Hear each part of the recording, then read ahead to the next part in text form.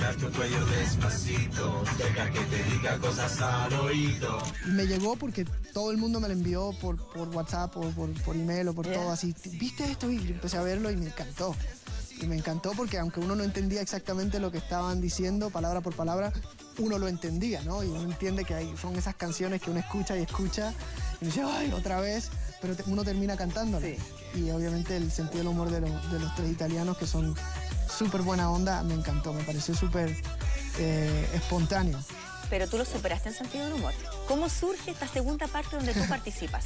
Yo estaba en Italia haciendo, haciendo eh, un concierto en Verona y a través de la disquera llegó la petición de, de los tres chicos eh, para, hacer, para hacer la segunda parte. Y yo, que me disfruté tanto la primera parte, dije, pues por supuesto, ¿qué hay que hacer? Vamos.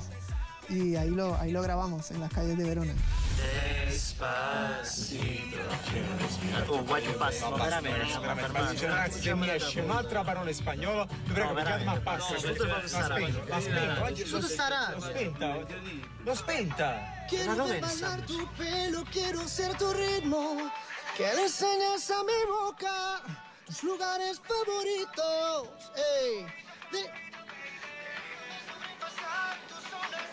¿Los italianos?